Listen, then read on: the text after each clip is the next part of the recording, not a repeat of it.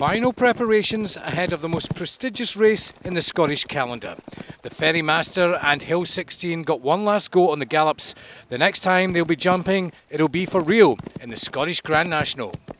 All sorts this horse ran really well last week and uh, both horses are trained by Sandy Thomson. The Ferry Master obviously had a really good season last year, culminating in being fourth um, in the National. He's a really good preparation, really good run at Newcastle the other day. Hill 16, obviously he's going to carry top weight. We only bought him in May. He's had a great, great season, just beaten in the Becher Chase. He jumps really well and he stays. I think they've both got very good chances and uh, we'll be very hopeful that, you know, that one of them could perhaps win.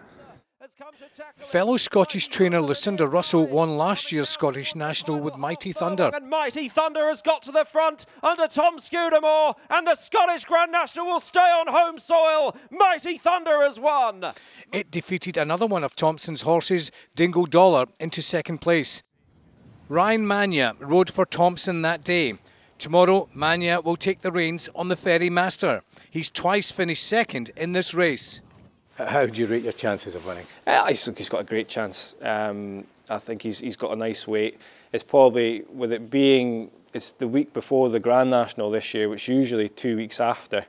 Um, so it's cut up to be, not maybe he's not the strongest of races. It's certainly an easier race than it was last year. Two near misses for you in this race? Yeah, two, 2012 and then, yeah, last year. Um, so that's I've, I've, finished second in it twice and, and very you know not not beaten far for second. So a bit of seconditis in the Scottish National. So one day hopefully we can go one better. This Saturday. Well, hopefully. There will be a capacity crowd of 15,000 people at Ayr tomorrow. The race gets underway at 3.35 and you can watch it live on STV.